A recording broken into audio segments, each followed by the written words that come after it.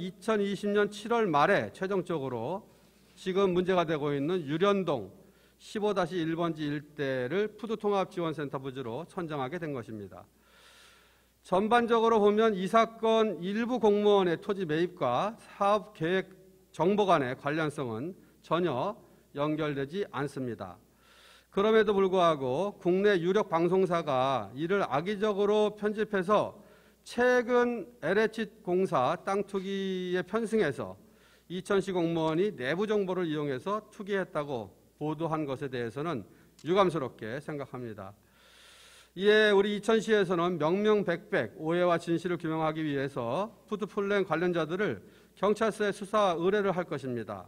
수사 결과를 토대로 사실과 다른 언론 보도와 일부 SNS상의 악플러들에 대해서는 추가적으로 어, 형사 고발 조치를 하도록 하겠습니다. 존경하는 이천 시민 여러분, 푸드통합지원센터는 우리 지역에서 생산되는 안전하고 건강한 먹거리를 시민들에게 꾸준히 공급함으로써 지역 경제 활성화에 기여하는 목적을 가지고 추진하는 사업입니다. 어떠한 시련이 와도 오해와 불신에 맞서서 당당하게 진실을 규명하고 헤쳐 나가겠습니다. 시민 여러분들의 많은 응원과 격려를 부탁드립니다. 감사합니다. 네, 인천일보 홍성룡입니다. 예. 네, 네. 그 일부 주민들은 투기가 아닌지 의심하고 있습니다. 지금 현재 그 앞으로 그 시 차원의 어떤 뭐 조사라든가 아니면 어떤 뭐 다른 계획이 있으신지요? 요거 적극적으로 해명하는 그런 의미에서라도 지금 필요할 것 같은데 그 계획이 있는지요? 예, 뭐 지금 그렇게 의심받고 있는 상황에서 이천시 자체 내에서 조사해서 발표를 해도 믿기는 어려울 거고요. 그래서 저희들이 수사 의뢰를 하겠다는 겁니다. 예, 수사해서 바- 밝히면 되는 거고요.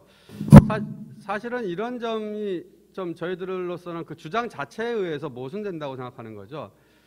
푸드통합지원센터의 부지는 일단의 토지입니다. 한 덩어리의 토지예요. 물론 필지가 나눠져 있는데 지금 그 반대를 주장하시는 분들은 아, 내 땅이 거기에 들어가서 손해가 나니까 빼달라 내지는 이 사업을 철회해달라 이렇게 주장을 하고요. 또 그 땅에 들어가 있는 일부 토지가 공무원 소유라고 하면서 그 땅은 돈을 버는 이 투기를 하고 있으니까 아, 그건 또 따로 밝혀야 된다 이렇게 얘기를 하고 있어요. 예, 두 가지 다 사실이 맞을 수가 없습니다. 그래서 사실은 애초에 이러한 주장들이 있었는데 그거는 주장 자체에 의해서 모순된 주장이기 때문에 또 아까 말씀드렸던 시기적으로 맞지 않는 부분이고 해서 저희들이 그렇게 했던 거예요. 근데 이거를 그 반대하는 사람의 이야기만 듣고 의혹이라는 거 우리 생각으로 정리하는 건 뭐 못할 게 어디 있습니까? 뭐든지 다 할 수 있는 거죠. 예, 그런데도 불구하고 이렇게 왔으니까 저희는 정식으로 수사 의뢰를 해서 예, 그 사실관계 밝히고, 밝힐 거고요. 대신에 중요한 거는 이게 언론이라는 게 뭡니까? 시민들에게 올바른 저- 여론이 제대로 형성되게 하기 위해서 진실을 보도하는 거고요. 그 진실을 보도하는데 권력이 못하게 하면 언론의 자유로서 그것을 막아달라고 법에 호소하는 거 아니겠습니까? 그러면 증거에 의해서 사실관계가 뭐 A, B, C 이렇게 확인될 수 있다고 보자고요. 그러면 내가 그 진실을 경험하지 않은 사람은 그 연결을 시켜야 되는데 이 연결을 시키는 게 우리가 생각이에요. 우리가 생각으로 메꾸는 사실과 사실 사이의 그 간격은 이 생각은 철저하게 상식에 기초해야 됩니다. 상식에 기초해도 우리가 상식적인 일만 벌어지는 것이 아니기 때문에 그 어느 하나라도 예외적인 사실관계가 있다고 하면 나의 추론은 틀릴 수가 있는 거예요. 그래도 상식에 입각한 그 생각으로서 사실과 사실과의 관계를 연결시킨다면 그래도 그것은 하나의 어떤 그 과실이거나 이렇지만 사실과 사실 사이의 그 간격을 잇는 그 생각이 아주 비상식적인 거라는 것을 스스로 알고 했다면 이것은 실수가 아닙니다. 특히 언론이 그러면 그런데 이 일을 하는 거는 왜 그러냐 하면 자극적인 기사 지금 LH 공사가 이런 일이 벌어지고 있으니까 그렇게 글을 기사를 쓰면 많은 사람이 읽으니까 근데 언론이 그렇게 하면 되겠습니까? 저는 안 된다고 생각합니다. 예. 유인성 기자입니다. 저기 아까 지금 발표하신 내용 중에서 2020년 4월달에 행안부 지방재정 투자심사 에서 재검토를 받으셨는데 예. 이 내용은 정확하게 무엇입니까? 뭐 여러 가지 이유가 있었던 것, 제 기억에 가장 큰 거는 부지가 어, 우리가 계획하고 있는 것보다 너무 넓, 넓은 부지여서 그렇게 지적받았던 것으로 기억을 합니다. 당시 계획을 보면은 그 단순한 그 지금 이 물류센터가 아니라 뒤에 그 개발 물류센터가 아닙니다. 아니 그러니까 그 이- 얘기하시는 물류 푸드 지원센터 그 표현이 자 정확하지는 않겠지만 당시 계획에 나왔던 거를 보면은 단순히 그런 유통 그런 물류 관계가 아니라 뒤에 연결해서 뭐 산책로도 만드시고 체험 농장도 만드시고 이런 계획이었었잖아요. 그럼 당시 거기 부지를 줄여가지고 하실 수도 있지 않았던 사업인가 싶은데요. 그 질문의 요- 취지를 모르게 왜 그 질문을 하시는 거죠? 아니 뭐 질문 내용이 있는 게 아니라요. 애당초 여기가 부지가 넓어서 지금 그 재검토 의견- 의견을 받으신 거잖아요. 행안부로부터. 예. 그러면 규모를 축소해서도 가능하지 않으셨냐는 질문입니다. 어, 우리가 사업 계획을 잡고 경기도나 중앙 정부의 그 승인을 받는 과정에 거기서 지적한 내용들이 나오면 그걸 가지고 다퉈 가지고 하는 것이 거의 실질 현실적으로 불가능합니다. 시간적으로 힘들고요. 그러면 거기 지적한 것을 받아들여서 저희들이 달리 계획을 잡는 게 맞겠죠. 그러면은 지금 현재 유련동으로 그 지정이 이제 지정을 하신 거잖아요. 이걸로 문제가 생겼는데 유련동으로 지정을 하셨을 때는 이런 뭐 별도 용역이나 부지 선정에 관한 건 정확하게 뭐 내용을 밝히, 밝혀 줄 수 있나요? 용역까지는 아니어도 여러 개 부지 중에서 예, 어, 많은 면을 고려하고 특히 소비자 입장에서 거기를 어, 다녀가야 되는 소비자 입장에서 어, 거기가 가장 적절하다고 판단을 한 겁니다. 한 가지만 더 여쭙- 여쭙겠습니다. 그리고 지금 좀 이슈가 되고 있는 부분이 당시 지금 이제 이 민원인들이 그 이런 의견들을 제시했을 때 먹거리 추진위원회에서 내용 증명을 발- 발송하신 게 있더라고요. 그 이분들한테 비대위들한테 그 내용 알고 계십니까? 최근에 밴드에서 올라와 있는 것으로 알고 있습니다.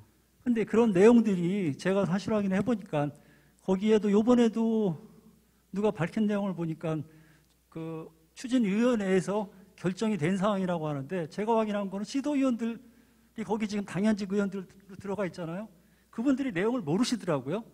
그러면은 일단 민원인들한테 이런 민원 제기에 대해서 내용 증명 띄운 부분은 좀 착오 아니었나 싶은데 그건 어떻게 생각하십니까? 아 그러시면 그 시도위원들이 어- 뭐 몰랐다고 한다고 해가지고 그렇게 얘기를 하시니 아, 만약에 그것이 사실관계에서 의혹이 있으면 뭐 조사를 시키고 수사를 의뢰하든지 이렇게 했으면 좋겠어요. 아니, 상- 먹거리 추진위원회에서 명의로 예. 그 회장 명의로 내용 증명을 발송을 하셨어요. 아 그분이 발송하셨는데 어떻게, 어떻게 하라고요? 근데 그 내용은 그러면은 예. 지금 이제 문제들이 여러 가지가 제기됐잖아요. 그럼 그 부분도 시에서 확인되신 내용이 있냐는 거죠. 그 대체로 내용이 뭐 사실관계가 다르지 않은 것 같은데요? 다르지 않다. 그렇게 예. 판단하시는 예. 겁니까? 알겠습니다. 네. 다른 질문 없으시면 네. 한 번만 더 받겠습니다. 예, 뭐 지금 방송사만 그런가요? 많은 언론들이 뭐 물론 경쟁 때문에 그럴 수 있고 생존을 위해서 그럴 수도 있는데 우리 방송을 우리 기사를 많이 많이 보게 해야 되니까 그리고 거기서 단정적으로 하나요? 단정적으로 하면 당연히 법적인 책임이 문제가 되니까 의혹 제기로 하죠. 의혹 제기만으로 성공을 하면 충분히 목적을 달성할 수 있다고 보는 거니까. 저는 언론의 그러한 그 마음가짐이 굉장히 문제라고 생각합니다. 이걸 가지고 수사해가지고 소송을 해서 그 방송사하고 싸우고 이런 것이 문제가 아니라 이러한 부분들을 분명하게 지적하고 언론사가 가장 중요한 게 뭡니까? 국민들, 시민들이 여론이 정말 제대로 형성시키는 게 가장 중요한데 그러기 위해서는 사실과 사실과 의견이 분리가 돼야 되고 의견은 상식에 기초해야 되고 상식에 기초한 의견이어도 굉장히 조심스러워야 되죠. 그런데 이렇게 중, LH 사건이 터지니까 아 이거가 이렇게 이렇게 의혹을 제기하면 굉장히 많이 볼 거야. 이렇게 도 좋은 건지 이, 이 사건은 사실은 소송을 해가지고 저희가 아니라 원하는 대로 수사 의뢰에서 밝히고 대신에 그 이후에 이 시점으로 돌아와서 JTBC를 이야기할 거고 또다시 넘어서는 JTBC와 같지 않은 방송사는 어디 있는지 다 함께 고민해 보셔야 되죠. 그렇게 어- 언론사들이 그래가지고 이 사회를 어떻게 바꾸겠습니까? 그 정도 마음 가지고 저는 잘못한 것에 대해서는 당연히 그래야 된다고 생각하지만 이렇게 상업적인 언론들 예, 타협할 수 없습니다. 저는 그렇다고 해서 JTBC하고 뭐 지난번에 조선일보하고 그 소송을 지금 하고 있는데 그거는 지금 지금보다도 또 또 다르죠. 그러나 지금은 의혹 제기를 통해서 빠져나갈 길을 열어두고서 하는 거거든요. 그럼 중요한 것은 어- 이 국민들이 언론이 그래도 되는지 그렇게 부를 겁니다. 그리고 그것이 JTBC만의 문제가 아니라는 것을 우리가 함께 인정하고 그래야 한 걸음이라도 나갈 수 있다고 생각합니다. 네, 시간이 많이 지났는데요. 저기 딱한 번만 이제 네. 저 마이크 마이크 이제 박사님 드리세요. 딱한 번만 그럼 바- 더 받겠습니다. 예. 뭐 시장님께서 오해와 진실을 규명하기 위해서 뭐 관련자들을 경찰서에 수사 의뢰 한다는 한다고 말씀하셨는데 그 관련자들의 범주하고 이게 어떤 시기로 수사 의뢰를 하실 방침이신지 이게 누가 고발을 하든지 뭐가 돼야지 수사가 될 거 아닙니까? 수사 의뢰하면 수사에 착수하, 착수하 겠죠. 지금도 뭐 그런 움직임도 있고요. 그 범위와 관련해서는 뭐 저희들이 책정할 건 아니고요. 지금 의혹 제기된 부분들, 공무원과 그 가족들이 그 땅을 산 것이 내부 정보를 통해서 이렇게 한 것인지 땅 투기가 있는 건지 이런 부분을 밝히는 겁니다. 뭐 범주를 우리가 정해서 여기까지만 해주십시오. 이- 이렇게 한다고 해서 멈춰줄 것도 아니고요. 중요한 거는 수사를 하면서 수사관조차도 그렇지 않겠습니까? 지금 드러난 객관적인 뭐 등기부 등본을 열람하고 예? 아까 말씀드렸던 그런 시기들이 있는데 그런 팩트에 의해서 이 사실관계 연결이 상식에 입각해서 이게 순조로운지 제가 보기에는 막 넘어다니는 거겠죠. 그러면 아 그런 아주 특단의 연결을 시키려면 진짜 특단의 사정이 있어야 되거든요. 그 특단의 사정을 제시를 해줘야 그건 그런 의혹을 제기하는 데에서는 그 이러한 특단한 사정이 있으니까 사실은 상식적이지 않아도 이것은 연결된다고 얘기를 해야 될 텐데 이제는 그런 얘기를 해줘야 돼요. 수사 과정에서도 밝혀야 되고요. 우리가 법률이 아무리 복잡한 것 같아도 상식을 넘어설 수 없습니다. 법률을 아는 사람만이 세상을 살아나가나요? 그렇기 때문에 상식에 기초해서 설명이 되어질 수 있어야 되는데 지금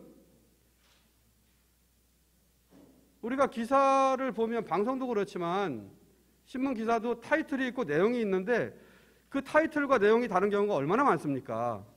우리 시간 없는 사람들이 타이틀만 읽고 넘어가는 경우가 많은데 그러면 타이틀이 사실이라고 넘어가지 않습니까? 쓰는 사람들은 그걸 노리고 쓰지 않나요? 저는 거기에 언론의 사명이 있다고 보는 겁니다. 이 사건은 부득이 LH 공사 사건이 지금 뭐 땅 투기 그 부분들이 문제가 되어지는 이 시점에 실제로 지자체에서 그렇게 한 사건이 포착이 되어지고 한다면 뭐 당연히 기사거리가 아주 훌륭하다고 보여집니다. 그런 일이 있어서는 안 되겠지만 그런데 그럴 듯해서 조사를 해보고 근데 상식적으로 이해가 안 되어지는 부분까지 그것을 마치 그런 의혹을 불러일으키고 이게 의혹이 불러일으켜져서 상당한 기간이 흘러가고 또 정치적으로 이용할 거 아니겠습니까? 그래서 잘못 없는 쪽이 그렇게 억울함을 당해도 괜찮겠다라는 생각이 있는 거 아니겠어요?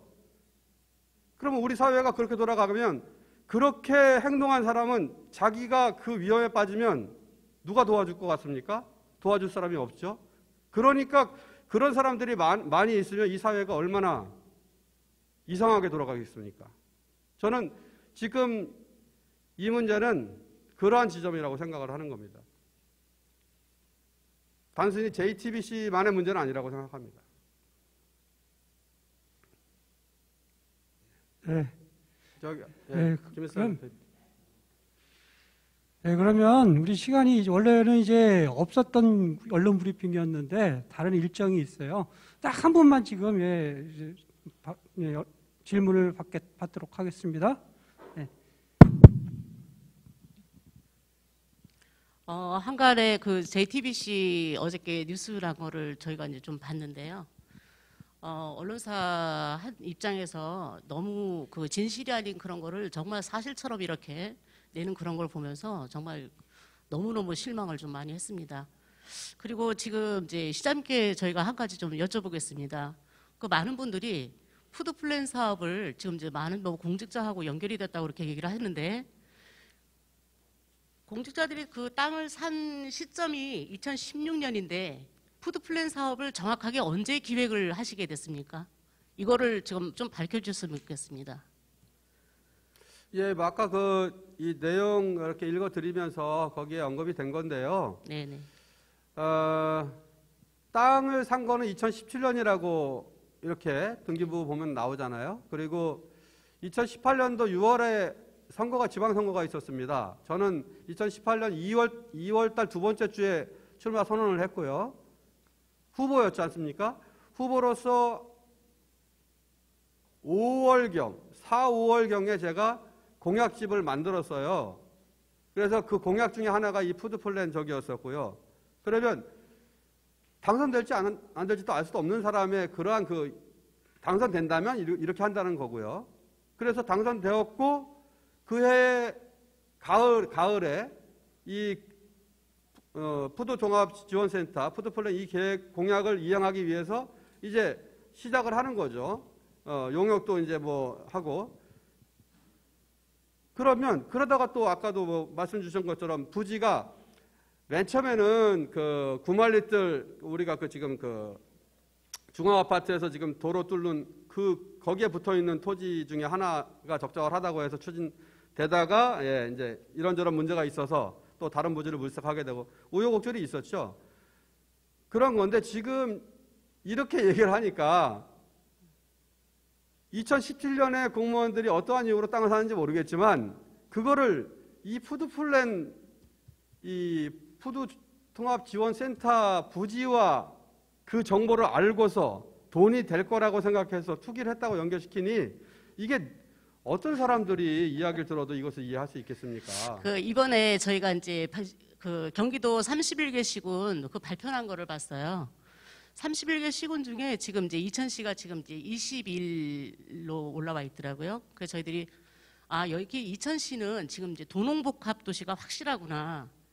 나가면 시내를 나가면 지금 다 농토인데 농토가 저 전부가 거의 다, 다 지금 농지가 그냥 늘 보이는데 지금 이제 LH와 관련된 이런 게 나오면서 정말 이렇게 그 많은 사람들이 이천시에 큰 투기를 된 것처럼 이렇게 얘기를 하는데 그 이천 시장님께서도 이천시에 돈을 거기다 사면 투기를 할 만한 지역이라고 이천시가 그렇게 생각이 되십니까? 정말 뭐 돈을 제- 벌수 있는 자리라고 생각하십니까? 그걸 뭐 한번 저- 예, 시장님께서 답변을 좀 해주셨으면 좋겠습니다. 저는 뭐 그에 대해서 이렇게 저렇게 답변 드릴 적은 아닌데요. 네, 네. 적어도 아까도 말씀드렸지만 지금 푸드통합지원센터 부지로 얘기되고 있는 그 땅이 여러 필지긴 하지만 한 덩어리 아니겠습니까? 한 덩어리라면 그 중에 일부 토지는 억울한 일이고 일부 토지는 특혜를 보고 이런 일도 일반 사람들의 상식에 비춰보면 동의가 안 되는 부분입니다. 이게 전체가 지금 한 400여 평 정도 되는 건데 그 마치 뭐 한 한 뭐 만 명 만 평 정도 산 것처럼 지금 너무 이렇게 확대되고 이천시에 지금 이런 것들이 기사화가 되어서 나가고 JTBC라든가 이런 거 저 어저께 난 걸 보면서 제가 그쪽 담당자들한테도 그랬어요. 언론이 그래서 욕을 먹는다. 진실을 진실되게 이렇게 좀 해야 되는데 오늘 뭐 기, 기자회견 우리 이제 시장님께서 해주시는 걸 제가 저희들도 지금 와서 듣는데 저희들이 알아본 바에 의하면 그런 것들은 어 다 이게 농민과 관련된 이게 이제 공직자들이 있긴 하지만 농업이 거의 주 어, 생산자가 되고 있는 이천시이기 때문에 이런 일이 또 비춰지는 건데 밖으로는 지금 마치 무슨 뭐 투기를 하려고 그런 거를 한 것처럼 그 농민이 거의 다 농민들이 많고 농민들이 또 자손들이 많고 이런 지역이라고 저는 이제 생각이 드는데 어, 여기 많은 언론인들이 와서 계시니까 이런 말씀을 제가 드리는데 이천시가 과연 정말 땅 투기를 할 만한 그런 지역인가 이거에 대해서는 한번 퀘스천 마크를 좀 해봐야 된다고 생각하는데 이천시에 대한 그 브랜드 이미지도 상당히 중요하다고 저는 생각하는데 그거에 대해서는 한번 저희 여기 계신 언론인들도 한번 생각을 해보셔야 되고 저도 한번 그런 부분에 대해서는 어 한번 그런 것들을 언론인으로서 한번 좀 생각을 한번 좀 해보려고 그렇게 좀 생각을 합니다. 저도 한 그래서 좀 예, 시장님께 그런 시점이라든가 그리고 정말 땅 투기를 할 만한 곳이 이천인가 이거에 대해서는 한번 좀 예, 여쭤보고 싶었습니다. 예. 예, 알겠습니다. 예, 그럼 이, 이상으로 언론 브리핑을 마치도록 하겠습니다. 예, 감사합니다. 예, 감사합니다.